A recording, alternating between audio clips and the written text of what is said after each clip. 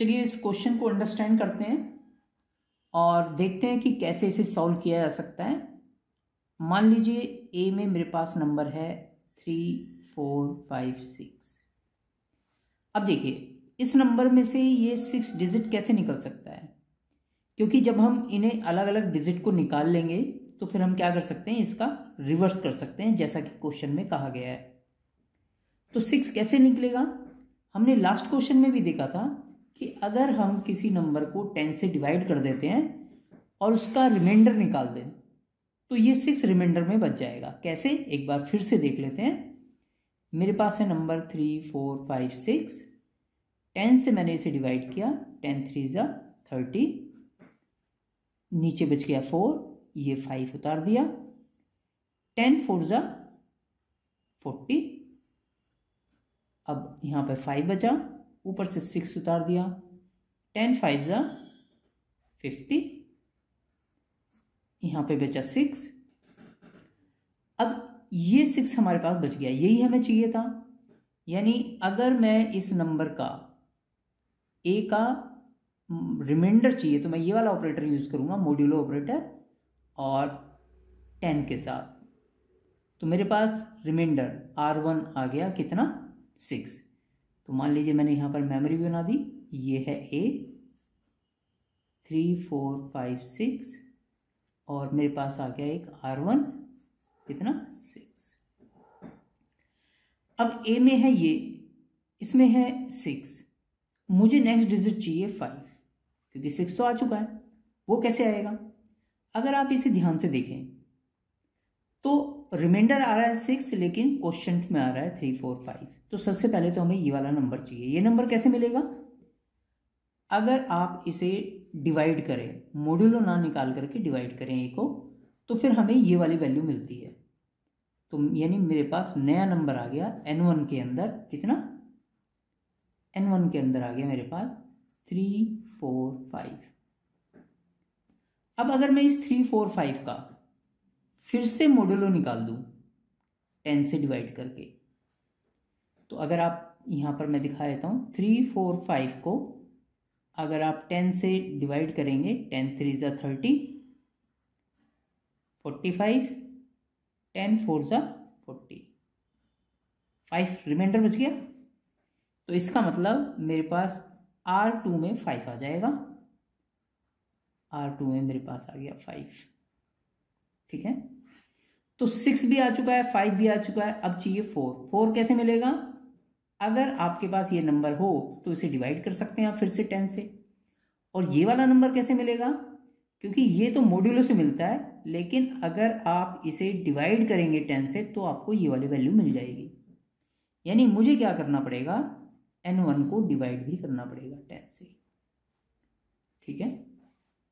N one को. तो मेरे पास एन टू के अंदर, एक एन टू बना देता हूँ मैं यहाँ पर।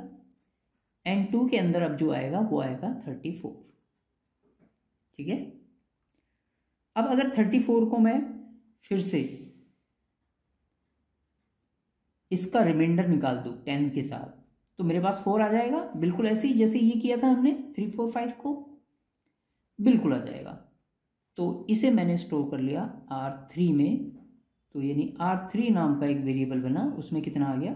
फोर ठीक है? अब, मेरे पास है एन टू में थर्टी फोर इसमें से फोर निकाल चुके हैं, अब मुझे चाहिए थ्री कैसे मिलेगा? अगर मैं इस एन टू को, इस एन टू को डिवाइड करूँ टेन से तो फिर सिर्फ़ एक ही बार जाएगा टेन थ्री जा तो मेरे पास नंबर अब बच जाएगा थ्री आप चाहें तो इससे फिर के, फिर से इसका मॉड्यूलो निकाल सकते हैं। अदरवाइज़ आप यहाँ पर भी स्टॉप कर सकते हैं। अब मेरे पास एन थ्री में कितना आ गया? थ्री अब मेरे पास सिक्स फाइव फोर थ्री सारी डिजिट आ चुकी हैं। तो अब नंबर बन सकता है। नंबर कैसे बनेगा? क्योंकि इसका रिवर्स करना था। सिक्स फाइव फोर थ्री चाहिए। तो सिक्स है इसमें। तो यानी R one plus R two plus R three, sorry, R three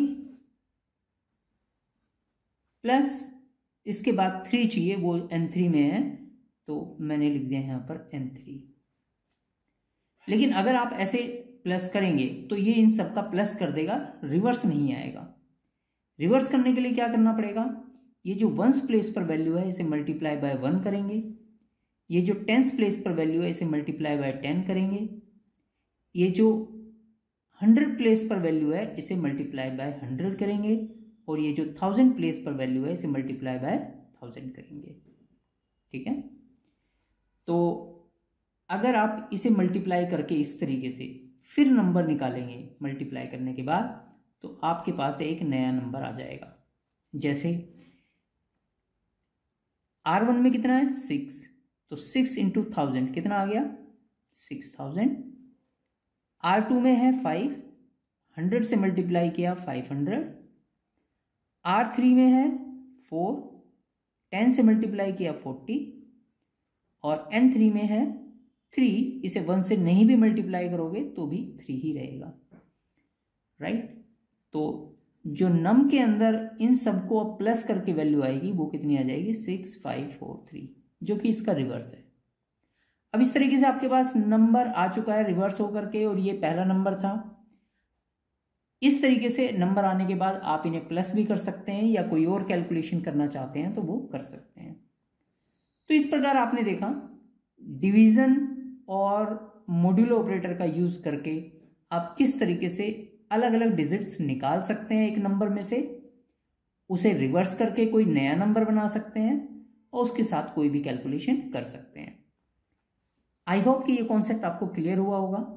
और अगर कॉन्सेप्ट क्लियर है तो आपको इसे प्रैक्टिकल करके देखना चाहिए। आप इसे ट्राई कीजिए। और अगर फिर भी नहीं होता तो नेक्स्ट वीडियो में मैंने इसका सॉल्यूशन दे रखा है। लेकिन सॉल्यूशन देखने से पहले आपको खुद से ज़रूर और ज़रूर ट्राई करना है। तभी आप खुद से समझ पाएँगे। तो इस वीडियो में इतना ही। नेक्स्ट वीडियो में फिर मिलते हैं। All the best keep watching